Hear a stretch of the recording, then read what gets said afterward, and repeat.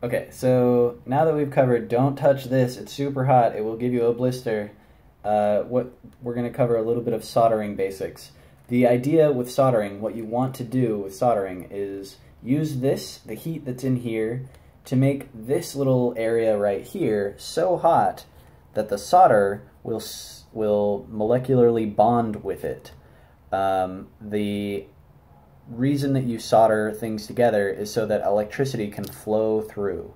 And we want to make this part right here where the wire comes in and touches the tab, we want to make that as solid as possible for the electricity to flow through.